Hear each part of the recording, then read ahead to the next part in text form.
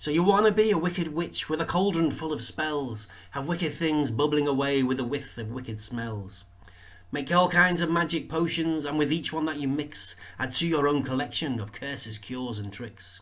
You'll need to put on makeup so your skin looks old and green, and wear a pointed hat and cloak like every day is Halloween.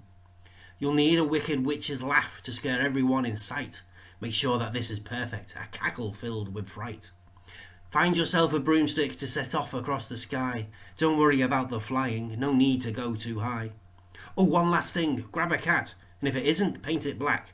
But remember, you should wash it before it's time to give it back.